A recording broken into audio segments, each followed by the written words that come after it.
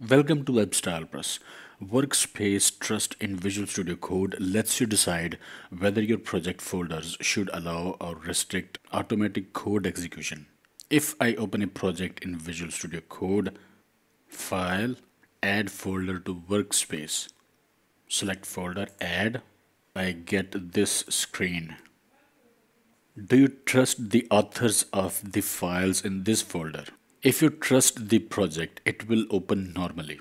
Otherwise, it will open in restricted mode, such as this. In restricted mode, certain tasks, debugging, workspace settings, and extensions are disabled or offer limited functionality. If you open a project in restricted mode, you can allow trust later on. Also, you can use workspace unsupported filter for extensions to see which extensions are disabled. You can selectively enable extensions by hitting gear icon next to extension name.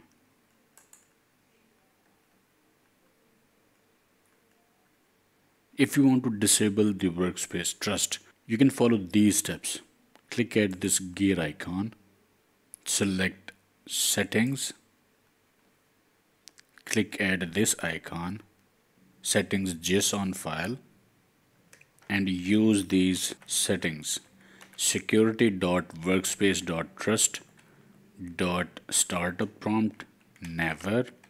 Security security.workspace.trust dot enabled false.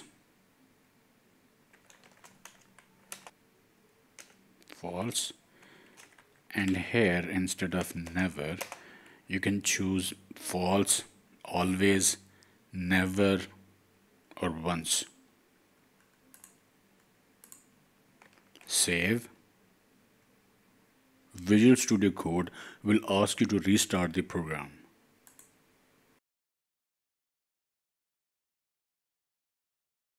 Now let's again open a folder.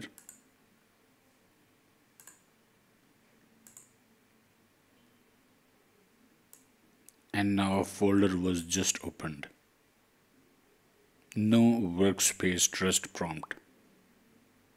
But this is not recommended. There's so much source code available on public repositories.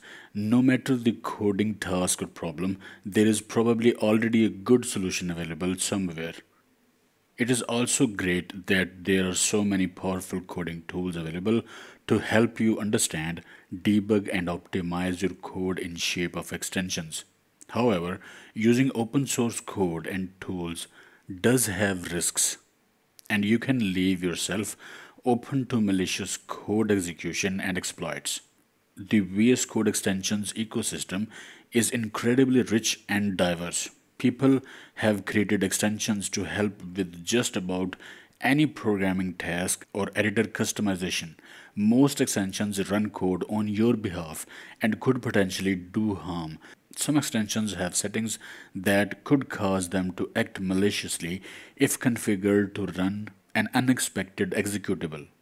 For this reason, extensions that have not explicitly opted into Workspace Trust are disabled by default in restricted mode.